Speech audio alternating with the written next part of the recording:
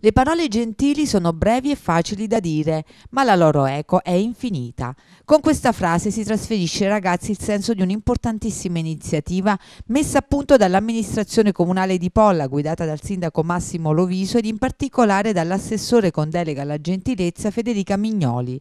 Le scuole primarie e secondarie di primo grado di Polla si colorano di frasi gentili che compaiono sulle scale dei plessi scolastici.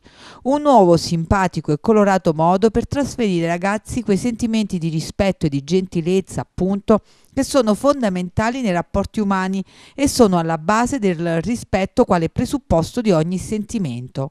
Una parola gentile e una frase gentile hanno un potere straordinario, un potere che diffuso tra le giovani generazioni può contribuire a creare un mondo migliore e a restituire i valori necessari per una società più umana.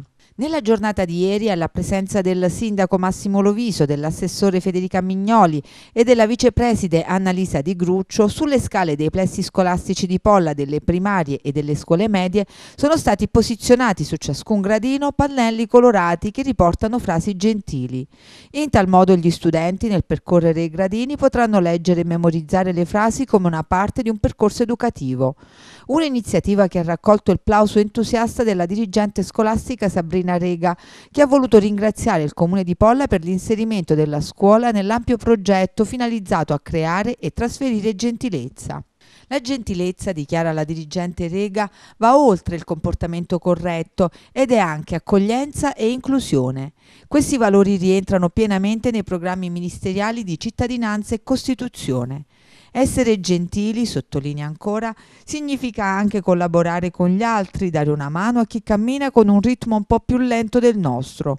Ringrazio il Comune di Polla che con questo progetto aiuterà i nostri allievi ad acquisire una maggiore sensibilità nella relazionalità con gli altri.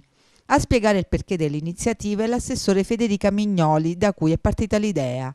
La nostra amministrazione comunale, sottolinea, è da anni impegnata per migliorare la vivibilità e i nostri migliori alleati devono essere i bambini, educandoli fin da scuola ad un forte senso civico. Nell'ambito delle politiche per la gentilezza, spiega Mignoli, abbiamo deciso di scrivere frasi colorate su ogni scalino delle nostre scuole. Ogni gradino insegnerà qualcosa, ogni gradino sarà un passo verso una società migliore, più rispettosa e gentile.